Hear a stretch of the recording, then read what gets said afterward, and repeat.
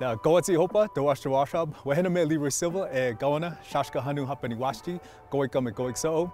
Greetings, my name is Leroy Buster Silva and I'm from the Pueblo of Laguna. I am a father, I am a husband, I am a community champion, and I'm very excited to be a part of the inaugural class of the Diversity Fellowship.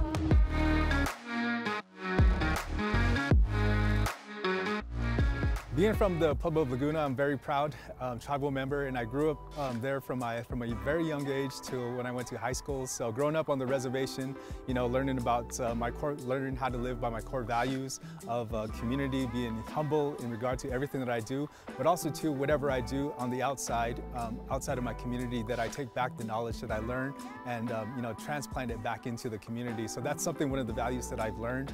Um, some people think that the reservation is uh, is is dire and is, you know, there's poverty, there is poverty, there is, you know, um, we have our challenges, but at the same time seeing the beauty, and that's something that I grew up with that I feel that a lot of people don't grow up with, is the beauty of being connected to a culture, being, uh, knowing where I come from, my roots, um, but more so uh, learning how to um, transplant and take my, my core values everywhere I go, uh, no matter what I do in the world, is that, that I'm able to give back to, to my people, but I'm also being able to give back to the, to the greater good of everybody. You know, everybody looked like me growing up. And um, so for me, I wanted to, you know, get out. I wanted to travel and explore and meet new cultures and meet different people. So I feel that that's been my, um, one of my goals in life is to challenge myself, whether it's, you know, I'm uncomfortable, whether it's uh, some place or some uh, position that I've never carried before. So for me, being able to challenge myself and, you know, get to know people on the, on the roots level, get to know who they are and where they come from, for me, that's, that's been gold. My big learning experience has been traveling and working with different uh, a diverse amount of people.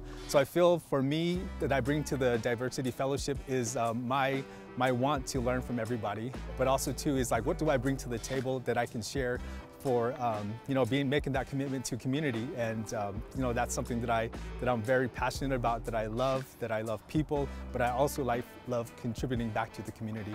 And through my, my journey, my leadership journey, I've been a part of the Americans for Indian Opportunity, which is an indigenous leaders uh, network here in, based out of Albuquerque, New Mexico.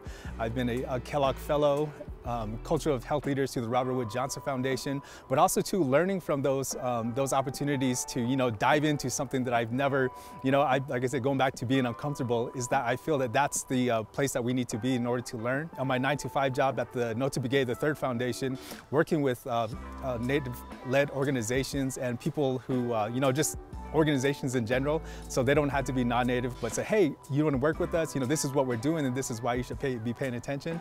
So for me, that's the love of being in community, is getting to know people on different levels, you know, whether it's personal, but also to why are you doing the work that you do? So I feel that that's something that I bring to the Diversity Fellowship, is being able to, you know, be curious about community, but also to find solutions of my uh, experience as a community champion and relay those back into the, uh, you know, my, my fellow fellows. and and uh, you know learn from one another. So sports was a, a huge uh, goal in my life. Again, I, I grew up with uh, was seeing wonderful athletes, you know, go on to high school, go to college, um, but also to not take it to the next level in regard to getting a degree. So that was my challenge growing up. So you know, I always wanted to be the best at everything I do, whether it was running, playing baseball, playing basketball. So basketball was my vehicle. So basketball was something that I I did year round in the snow. So I really felt that, you know, for me to be the first of my family to go to college and to play college basketball, that was something that I strived for and that I succeeded.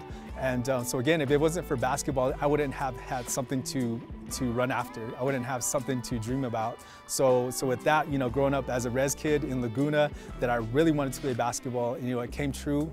And uh, you know, again, I'm just using that that tool, that vehicle, as, as a way for me to, to learn and to inspire other, you know, not just indigenous youth, but people of color to really uh, follow along with, you know, whatever their, their passion is, you know, follow it because there's doors that will open to you if you just stick with it, if you work hard. Um, but, uh, but yeah, so sports has made a huge impact in my life because of that.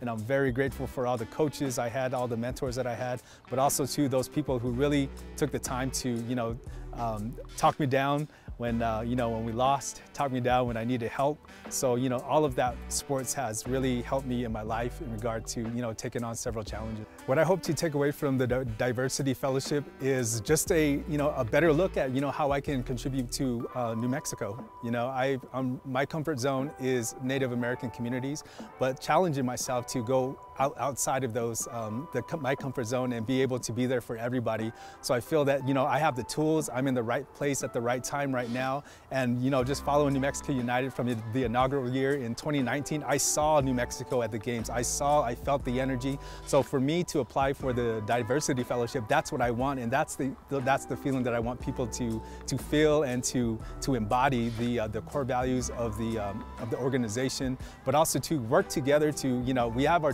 differences, yes, we have our challenges, yes, but how can we come together to really uplift one another? And I feel that through the Diversity Fellowship, that's exactly that I, that I, what I want to do is uplift people, uplift communities, but, you know, just for them to be, um, be acknowledged and know that, you know, we see you, we know what you're doing, um, and we want to highlight you. So, so for me, again, that's something that I want to contribute back to not only my community, but, you know, every community in New Mexico.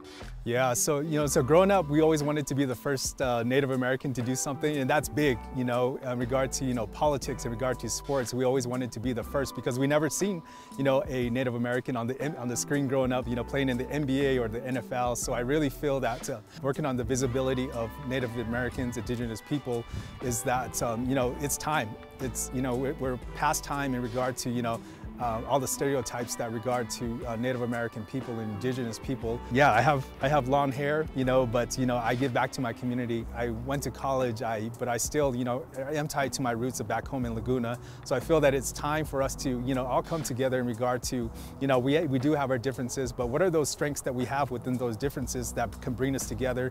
That again going back to community is that we can strengthen our community through diversity. We can strengthen our community by working together. So I really feel that that's where, that's the beginning of, you know, creating that systemic change is that we take the time to understand one another.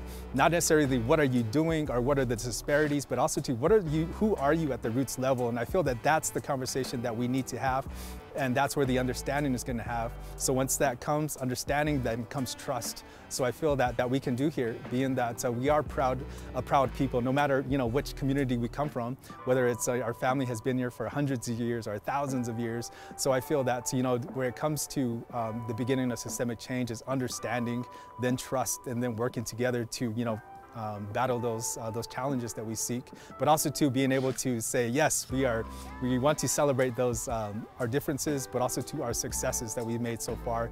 And uh, like I said, together we can you know reach those those goals for systemic change, and also to just um, you know getting to know one another. And I feel that that's where we need to start. Yeah. So again, my passion has always been to community, and I feel that you know all the knowledge that I re I'll receive from the Diversity Fellowship, you know, it's always going to go back into the community, whether it's to provide open doors doors for more opportunities for youth, for the communities of color, or all of New Mexico, no matter what, so that those doors are always going to be open. So I feel that, you know, for me coming in with a different perspective, that I feel that I, I can um, be the, the bridge to other communities in regard to not just soccer, but, you know, to art and unity and community that, you know, the fellowship is all about, that, um, you know, being able to um, share my knowledge, but also too, he's like, what does that look like in, in, in my passions of working with community um, through my social enterprise, through the NB3 Foundation, through my own community in Laguna. So how can I use what I know right now, but through the Diversity Fellowship, you know, continue to have those connections and networking, but also to, you know, just being a, being an advocate, being a champion for community. To me, New Mexico United is a bridge for opportunity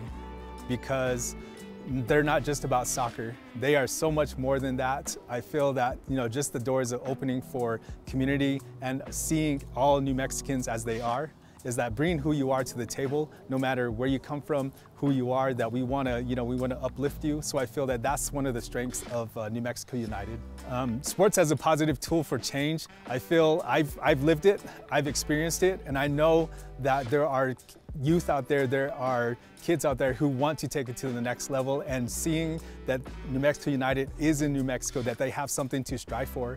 And, you know, my goal is to see um, New Mexicans, you know, more than two New Mexicans running on the, uh, on the field, on the pitch. So I really feel that, you know, being that sports is a vehicle. And again, it, I know it from experience. I've lived it, I've seen it.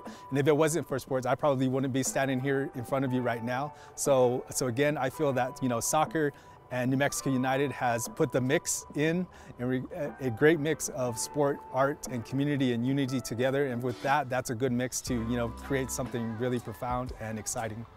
So I feel that given the opportunity for you know communities of color or anybody who wants to participate in sports or just have that opportunity to shine, I feel that that's where you know we our resources, that's where our focus needs to be because you know um, in those in the ground we have diamonds and you know if you dig hard enough you're gonna find one. So I feel finding those opportunities for those diamonds to be found, that's only gonna you know um, increase the the value of our community. That's only gonna increase the value of you know whether it's sports, whether it's companies, organizations organizations that we find those diamonds in the rough that, uh, you know, it's all about opportunity um, because um, so far, um, you know, for so long, it's always opportunities are given to those who have money, who have, um, you know, just that access because, you know, that's something that they always grew up with. So I, so I really feel that, you know, the investment in inclusion right now in our communities, in um, com companies, and like the uh, New Mexico United, you know, creating the Somos Unidos Foundation is that you're investing in community, giving people of color a chance to get up there and, you know, succeed. So I really feel that um, that's the route we need to go, you know, across the board um, that um, you know we, we can only be successful if we include everybody. If I can identify one thing that I'm passionate about is uh, wellness. So I really feel that you know um, with wellness, I feel that uh, that's where we find our strength because um, I feel strongly that we were each person was um, is a part of a place and space around the world, no matter where you come from or who you are, that we all had a place in this world where we started. So you had your core values, you had your connection to the land. So, you know, being, I feel that our wellness has, um, has been lost uh, with that, but I feel that, you know, just the revitalization of who you are, where you come from, but also to acknowledging what are your weaknesses, what are your strengths, and knowing that each person can be, work on their wellness, you know, anywhere that they, that they want. Uh, so I really feel that, you know, that's been my passion for the past, you know, since I was an athlete, is uh, really um, taking into consideration that people are different, yes, but wellness is always going to be a part of our lives, no matter where we go, no matter what we do. And um, so it's, um, you know, changing that generational wellness in regard to, you know, being unhealthy to, you know, healthy and striving and thriving. So what grounds me is my family. You know, everything that I do now is uh, all for them. So, you know, applying to the diversity fellowship, applying to several fellowships in the past that, you know, I didn't do it just for me, I did it for my family because, uh, so again, you know, being a role model for my kids, being a role model for, for the rest of my family, you know, that's important to me. So I feel that, you know, no matter what I do in the world, no matter what I, what I say or my actions, I know it's a reflection on my family, uh, my immediate family, my family back in Laguna, and my community. So I, am really adamant of, um, you know, being, a, being positive, being a positive role model all the time. So, um, so again, my family is, is the reason why I'm here. The, is the reason why I take these steps in regard to community because I want them to and to see what I do and hear what I say to people because I know they will follow in my footsteps if I do that. So, so for me, I'm just grateful to have these opportunities and to show them to take risks. I think that um, you know being able to take healthy risks is huge, and I want them to be able to say, yes, my dad did this, and I can do that too. So being a family man is you know my passion. I love it, and uh, so again, just uh, being able to um, be in this uh, diversity fellowship is uh, means uh, you know volumes to me because I know my kids will see the, the benefits of giving back to community.